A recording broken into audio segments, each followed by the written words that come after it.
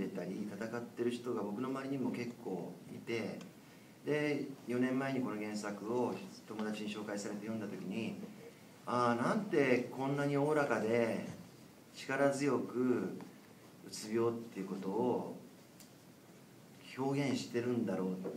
それがもうなんかとっても素敵に思えてあこのテイストで実写で映画化したらなんかまた映画という媒体でちょっと頑張らなくていいんですよって背中を押してあげれる映画が作れそうな気がしたのともう一つはずっと僕は家族っていうことにこうテーマに映画をこれまで撮ってきて割とそこまで撮ってきたのが親子が多かったんですね父と娘とか。でちゃんと夫婦っていうその家族関係をえー、どしっと構えてやったことが、まあ、半落ちは夫婦がやりたかったんだけどこれは奥さんを殺しちゃう話なんであす。いません。もうちょっと普遍の夫婦がやりたくてでそれにはこのちょっと掃除も洗濯も料理も出来の悪い奥さんと会社でちょっと落ちこぼれそうな旦那そのちょっと弱い2人がなんか一歩こう強い絆と強い夫婦になって一歩先に行けるっていうその2つに惹かれて、えー、これを映画化したいなと僕もすぐできると思ってたんです。で、えー、1年かからないうちにいい脚本ができてこの脚本どっか持っていけば絶対映画会社がどっかが乗ってくれると思ったんだけどやっぱりうつ病という非常にデリケートな問題を扱ってる。それから、えー、ほとんどがこの2人の芝居。でそこにえー、大きな仕掛けがある謎解きがあったり殺人があったりそのカーアクションがあったりその大きな仕掛けのない映画をどうやって商業映画としてベースに載せるんだっていうところで、えー、どのいや、まあ、まあいわゆるいろんな映画会社がこう乗ってくれなかったというか二の足を踏んだというか。それで、えー、東映がややってみましょうって、まあ、セントラルアーツかなやりましょうってなるまで3年かかってしまう。ことなんですけどね。最初にてんてんさんにお願いして1年間原作権をもらって1年内に脚本をてんてんさんに提示してでそこで、えー、てんてんさんがもうこの脚本をすごく気に入ってくださってもう何年かかってもいいですからこの脚本で僕のチームで映画化をしてください。だから2年目以降は原作料払わずずっと預けてください。そこで信頼関係はなんかできてました出したりとか。あの、はいなんていうんですかね原作通り撮ろうとは思ってなかったんですけど、はい、あの原作を読んだその読後感、はい、なんだかこうあったかくて、うん、えー、クスクスクスクス、うつ病なのにクスクス笑っちゃって、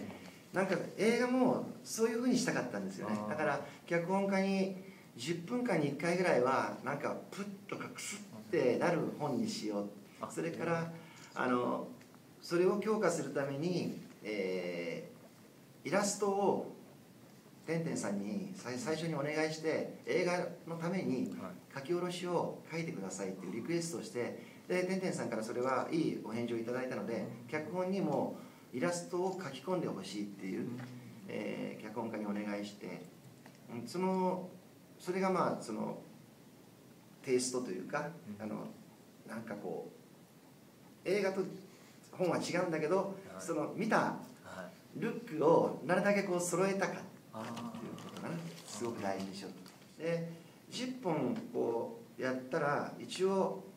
笹部っていう笹部映画って大体こういう映画っていうラベルができると思ってたんです、はい、で11本目からちょっと変わったこともやりたかったんですね。でそれがイラストでだからおそらく今までとちょっと違うテイストって思った。らそういうことだと思うんですね。